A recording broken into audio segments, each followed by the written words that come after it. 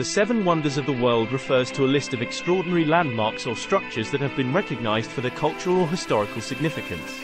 There have been different lists of the Seven Wonders of the World throughout history, but the most widely accepted list today is the new Seven Wonders of the World, which was announced in 2007. The new Seven Wonders of the World are Great Wall of China, a massive fortification built along the historical northern borders of China. The Great Wall of China is the longest wall in the world and a UNESCO World Heritage Site. Petra, an ancient city carved into rose-colored rock cliffs in Jordan.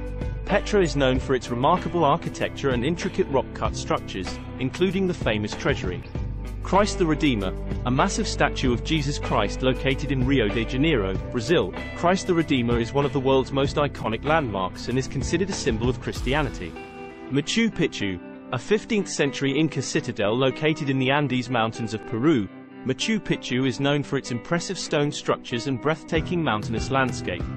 Chichen Itza, a large archaeological site in Mexico's Yucatan Peninsula, Chichen Itza was once a major Mayan city and is known for its well-preserved ruins, including the famous pyramid-shaped El Castillo.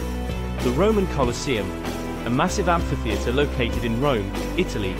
The Roman Colosseum is an iconic symbol of ancient Rome and is known for its architectural and historical significance. Taj Mahal, an ivory white marble mausoleum located in Agra, India. The Taj Mahal is considered one of the most beautiful buildings in the world and is a UNESCO World Heritage Site.